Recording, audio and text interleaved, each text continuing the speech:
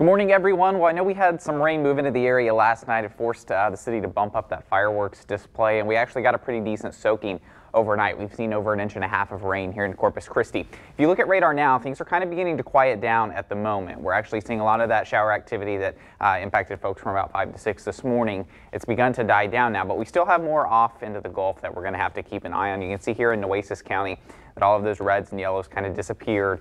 We're looking at just a couple of light sprinkles across the city right now. As you move further off to the west and here into northern Jim Wells County, we're seeing still a little bit of a splash and dash there just to the north of Alice. That's moving off uh, to the northwest, probably into the Owl Ranch area here shortly. Further on off into the Gulf, though, we've still got some showers and storms indicating we still have some moisture out there for the atmosphere to work with. So we may still continue to see some of those isolated scattered showers throughout the area today. However, I don't expect coverage to be quite uh, as much as what we saw yesterday evening.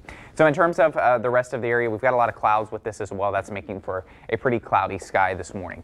Most of the rain has started to shift off to the west. That's where that area of low pressure is at now. So uh, we're starting to finally see the system work out of here. But that doesn't mean this is the end. In fact, we have another low pressure system right on the heels of this out here just to the south of the panhandle of Florida. And this is shifting off to the west as well. In fact, it's going to arrive by tomorrow increasing our rain chances tomorrow afternoon once again. So let's take you through Futurecast by 11 o'clock, some isolated showers and storms. Then into the afternoon, we're going to still continue to see some scattered showers in the area. However, uh, don't expect to see a lot of rain out of these. I think the atmosphere is pretty worked over from what we saw last night. Then overnight tonight, I think we're going to see a pretty decent uh, clearing.